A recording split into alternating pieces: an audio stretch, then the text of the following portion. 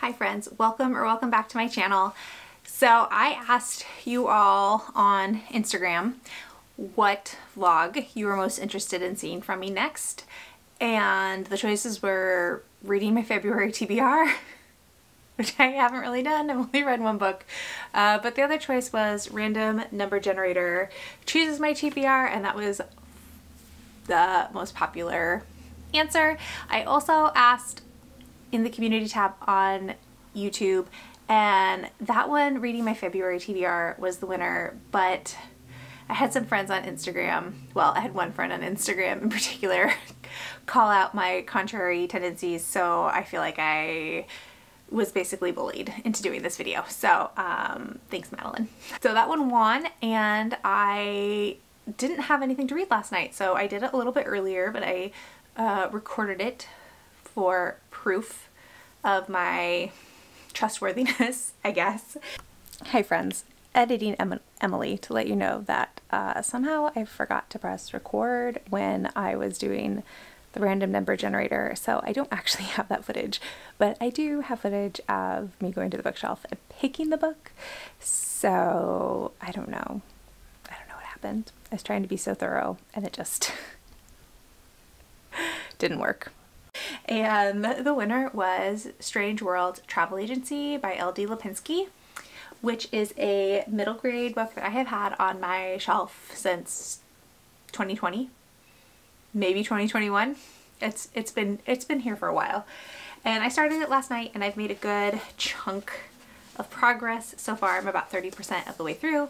And this takes place in a village in England. Uh, Felicity, otherwise known as Flick, and her family has has just moved to this village and while she's wandering around the main village hub one day, she stumbles upon this business called Strange World Travel Agency and the person inside, Jonathan, uh, the business has belonged to his family for generations and he is now in charge and their travel agency uses these suitcases to travel to other lands and they quickly discover upon meeting because Jonathan is very irascible I think is the word and uh, very dismissive of Flick and uh, but they quickly realize she can see magic which means she is in the unique position to be in the strange worlds society and be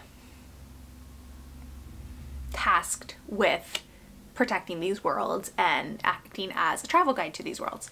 So that's about where I am so far. The synopsis says that they are going to discover that there is a world where buildings and streets are disappearing and Flick and Jonathan are going to have to discover how to save this world from dissolving into nothing. So I really like it so far. It's a fun read. It's been really quick read. Like I didn't invest that much time in it yet and I'm already about 130 pages in. So I'm excited to keep going with it. This is a good start. I will admit I'm really nervous to do this vlog mostly because I have a day and a fallen night on my physical TBR and I'm real nervous that that number is going to come up. So um, fingers crossed for me that that is not how this video goes because that would definitely like everything would grind to a screeching halt if that book gets chosen for me. So, but middle grade is a great way to start and I am looking forward to reading more of this.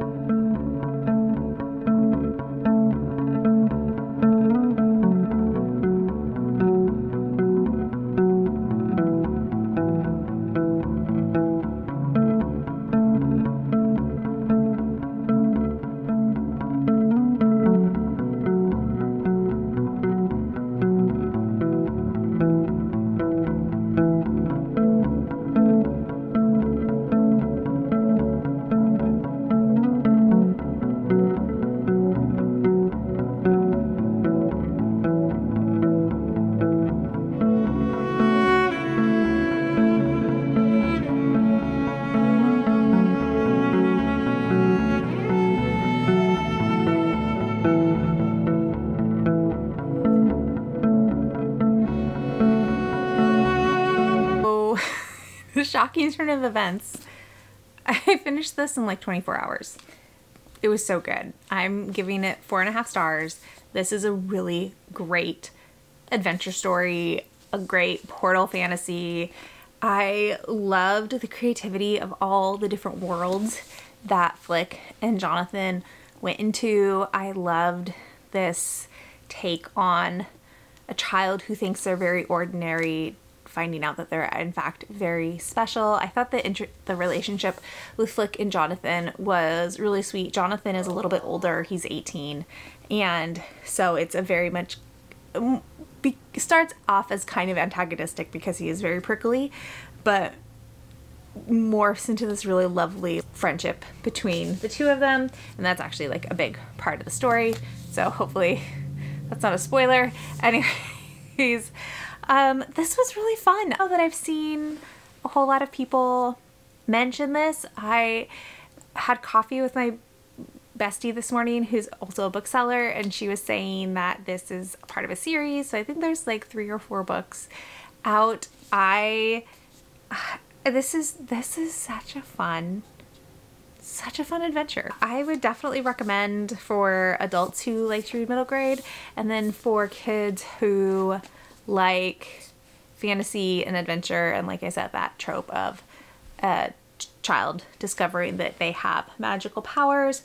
I think this would also be a good book for any like oldest child readers because Flick is an oldest child and is really struggling with how her family's dynamic has changed since her baby brother was born and how because of how much her parents have to work to support them because of how expensive life is that Flick has really been forced to grow up and be responsible for herself a lot sooner than her peers.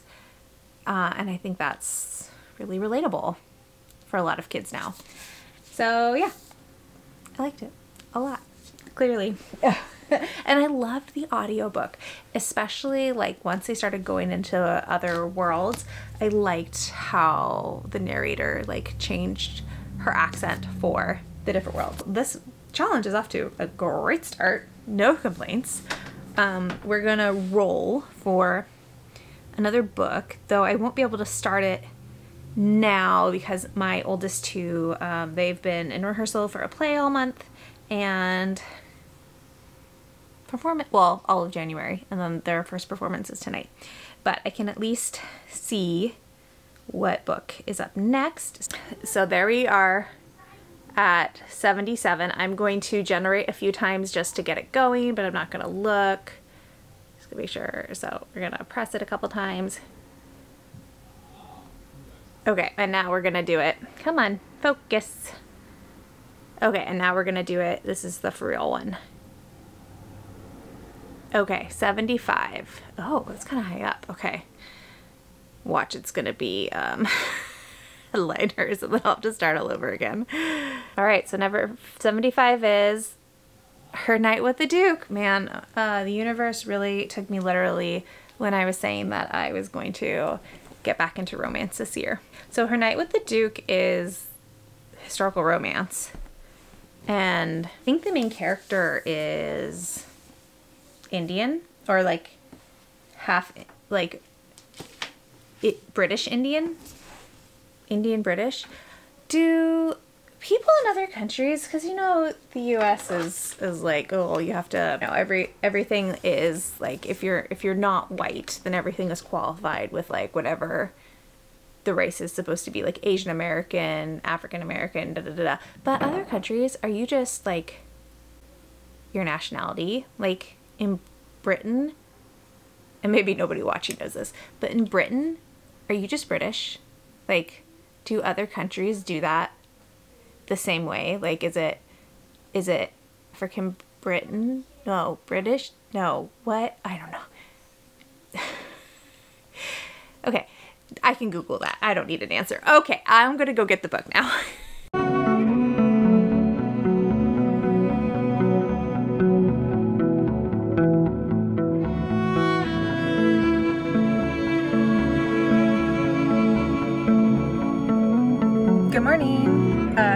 This angle isn't too too funky. I'm in my car, obviously, and I have to go to work as per usual, feels like.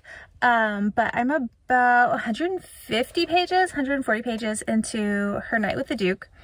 And I already knew what the setup of this book was going into it. So Leela, our main character, she's uh, half Arab and she's been traveling in India, um, meeting her mother's family. Uh, who she's, she'd never known as a child. And she's on her way back to her late husband's estate because her stepdaughter is about to be betrothed. And she stops at this inn and there are some very disgusting men at this inn who say really horrible, uh, bigoted things to her. And uh, Elliot, who is a duke, kind of swoops in and comes to her rescue and they end up having like a one night stand in this inn because she's a widow and he uh well not because she's a widow they just have one night stand. And Elliot is on the way to go uh meet or to go to a house party at his soon to be intended's brother's house so they have this one night stand and then both arrive at the estate only to discover that Elliot is the man that Leela's stepdaughter is being courted by and, that Leela is Elliot's intended stepmother. So, you know, it's complicated. It's, it hurts a little bit because historical romance used to be like my one true love. I loved it so much. I was ride or die for it. I, you know, would shout it from the rooftops, defend it all day long. And I find now with historical romance, it's a little bit harder for me to get into. And I don't know why. I can't figure it out. I do notice that um, the steamy scenes are a lot, they actively make me cringe now. Um, not because of like the descriptions, but just the way, like the way the characters talk to each other in those scenes. It, it feels cringe in a way it didn't used to feel cringe. So as long as I skip those scenes, I'm fine. or, you know, skim them. I skim them to make sure nobody reveals anything like important uh, during those scenes, but um, I'm definitely glossing over them in a way I didn't used to and it makes me kind of sad. But now that I'm into it, I'm enjoying it. I really like Leela as a main character. Um, she's really fun. She's kind. She's smart. She's a writer and she has published a travel log about India, um, anonymously, of course, because she's a woman and is currently working on the second volume. And so it's kind of, it's fun to watch her listen to other people talk about her book and not be able to say that she wrote her book. And because it's a historical romance like i kind of i kind of know where it's going. And you know because the concern would be well how does her how does elliot get out of being betrothed to leela's stepdaughter without it being a scandal? And i i feel like stepdaughter is going to fall in love with somebody else I feel like that's where we're setting. That's how I feel like that's where we're gonna get out. How we're gonna get out of this. Um, which is a, that might be, I could be wrong. Maybe it's not a spoiler, but that feels like where we're going at, you know, 30% into the book. And for romance, that makes sense. Like for knowing like historical romance, like obviously Leela is not going to blow up her relationship with her stepdaughter. So yeah, I, uh, so far it's a solid like three, three and a half star read. And I'm making really quick progress on it, which is nice. Though I didn't read as long as I planned to this morning. My husband bought Animal Crossing and I'm slowly getting sucked in. so hopefully that doesn't take over too much, but it is a really cute game. All right, and with that, I have to go into work, so I will update you all later. Hello friends, long time no update. This weekend has just been a lot. It's been a lot. I am tired. But uh, Sunday night, I'm making pizza. By making pizza, I mean I picked up made pizza and now it's in the oven. so, uh, but I did finish Her Night with the Duke. by Diana Quincy. And let's start with what I liked.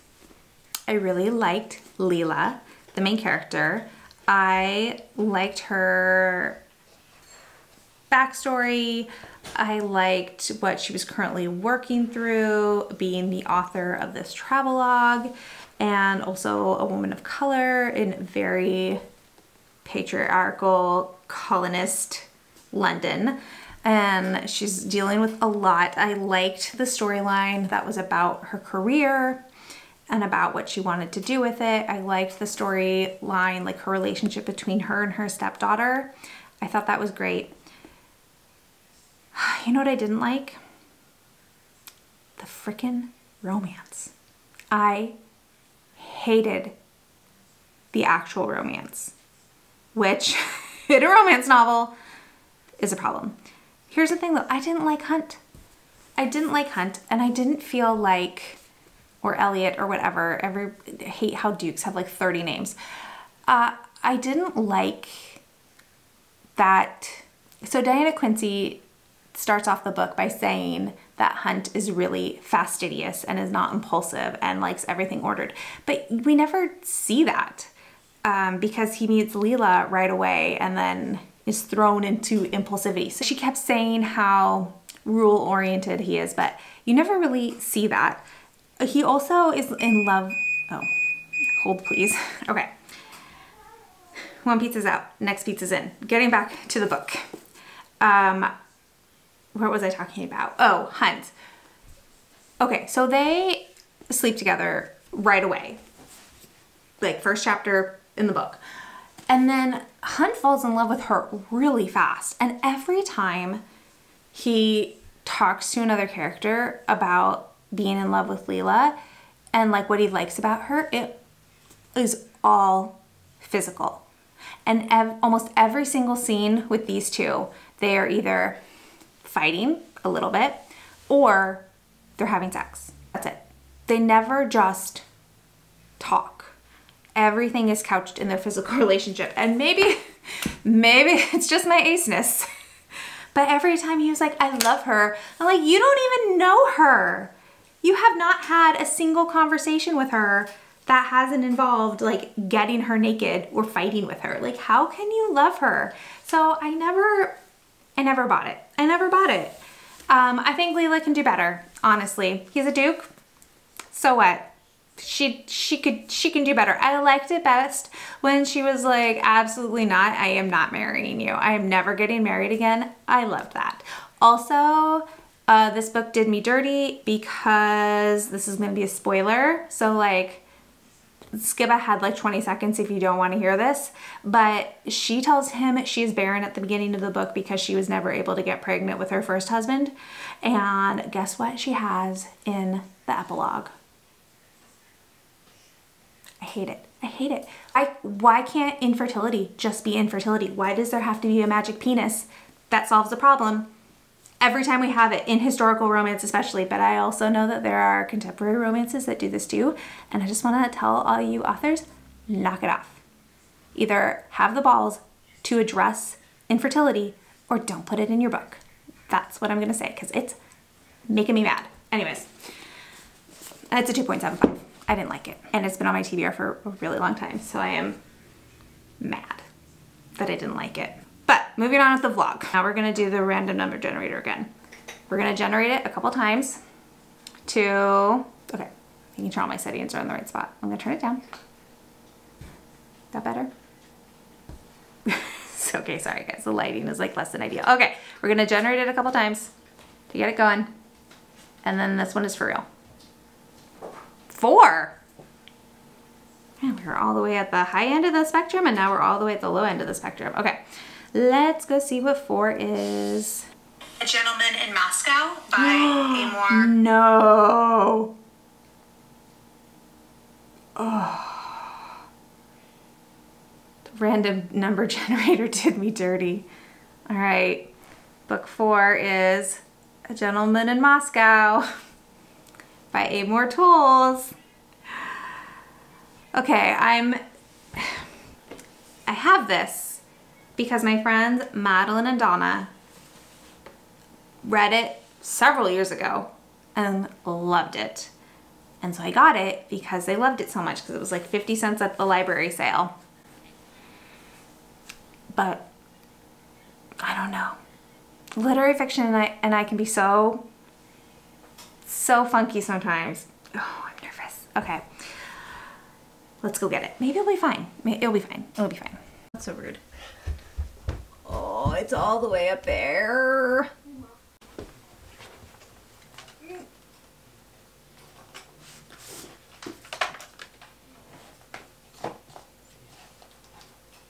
And don't go backwards. No! Oh.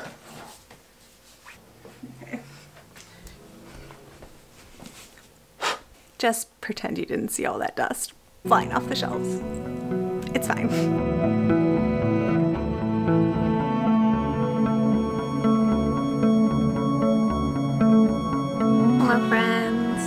Is Monday. Okay, I cannot even begin to explain how upset I was yesterday about not liking the ending to Her Night with the Duke.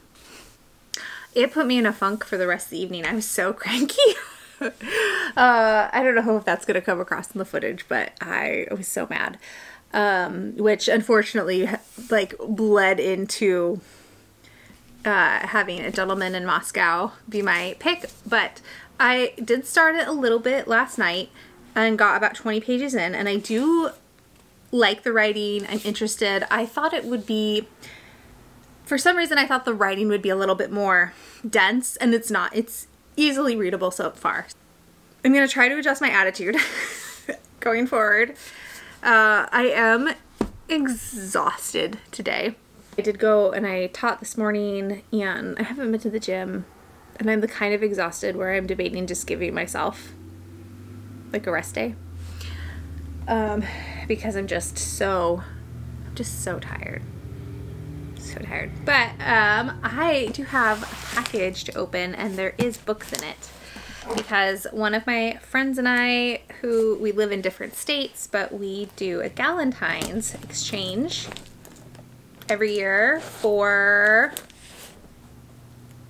four years? Five years? We've been doing it for a, long time. And her package arrived a day early. Oh my gosh, she taped it so thoroughly. Okay, we'll see if I can even get into it.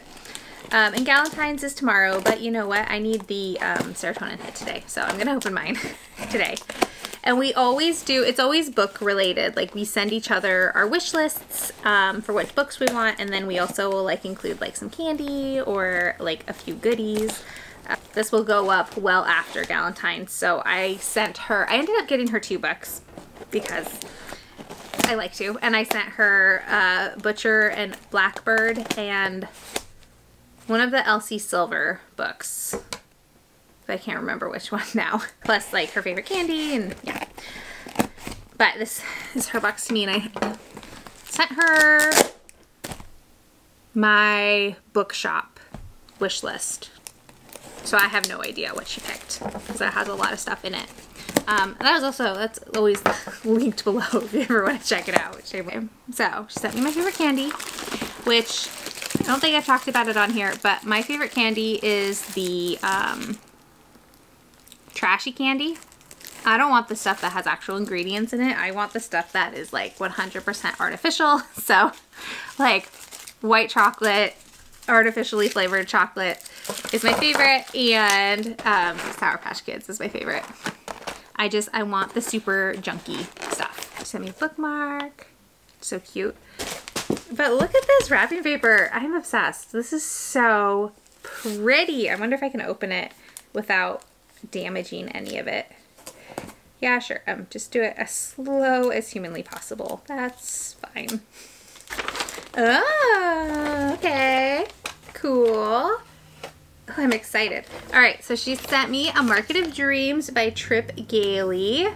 And this is, I believe, um, Killian fantasy romance.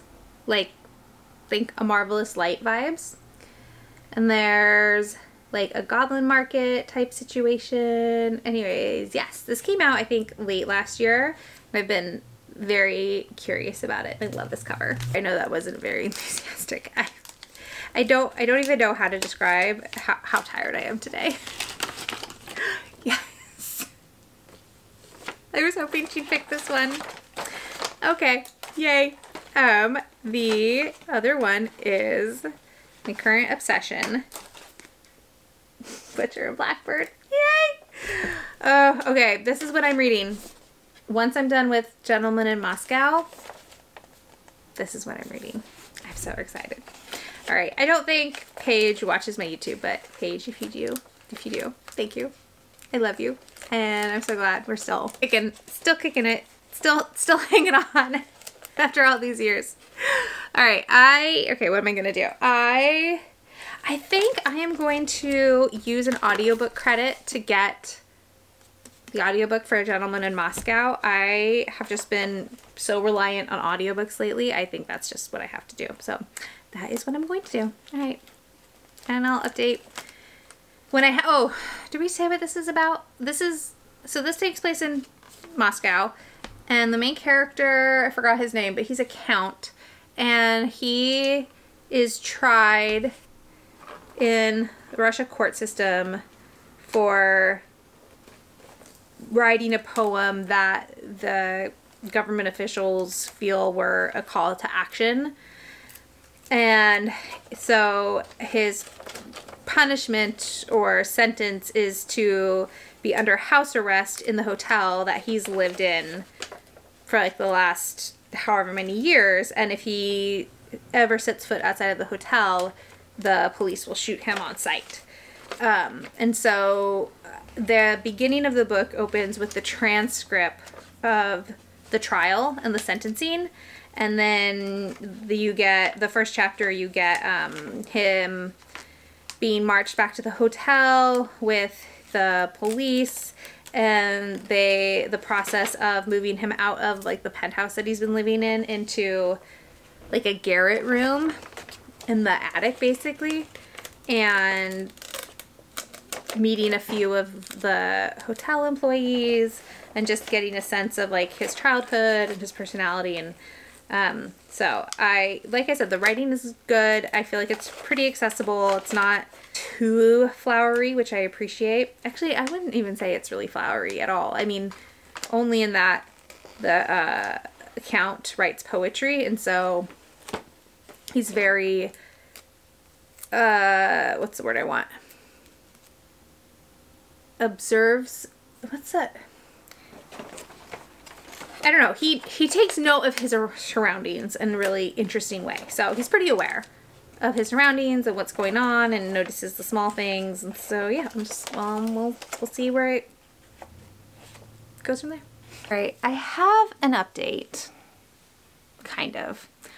I've gotten 30 pages into A Gentleman in Moscow. And while I am mm, liking it, not hating it, I'm pretty neutral. There's not like, I'm not that interested. I'm not like hooked. I'm not like really vibing, but I'm not hating it. So I'm, I'm very neutral about it. Is not a book I want to rush through. I think that would be a big, big mistake. I also think finishing Her Night with the Duke put me into a reading slump because I am struggling to read anything. I've been trying to read this one and it's I'm I'm very distracted every time I pick it up. It's it's hard for me to really focus my attention on it and I was wondering if it was the book so I started something else. I started a horror and I'm having the same experience with the horror book I started where I just, my attention span is not in it. So I think I'm in a reading slump. And because I'm in the reading slump, I'm actually not going to, I'm not going to DNF it. And even if I did, it would be a soft DNF, but I'm not going to do that. I am going to set, put it down and I'm going to try do like a reading reset. But because I'm gonna do a reading reset, that means I'm gonna end the vlog here which feels disappointing. I hate ending vlogs on a DNF or even if it's a soft DNF or a setting aside, but I just know that if I continued to push myself to pick this up, then then we I'd really be in trouble. So I'm gonna end the vlog here. This was a fun kind of challenge to do. I haven't done this kind of challenge before. I don't think I will do it again. Or if I do, it won't be it won't be for a long time. so I don't think this particular type of challenge really works for me, but it was good to try it out and see how it went and you know now know that this is not like my ideal reading challenge. Can we go back to Friday when I was reading Strange Worlds and just loving my bookish life? That was that was the best. That was so fun. Anyways, uh, so um, if you made it to the end of this video, thank you so much for watching and spending your time with me. And I'm sorry this is kind of a lackluster ending to a reading vlog, but I'm we're gonna get it I'm gonna get it together. I hope you all have oh are having a wonderful day and are reading something absolutely fantastic that you love and I will talk to you all in the next one. Bye!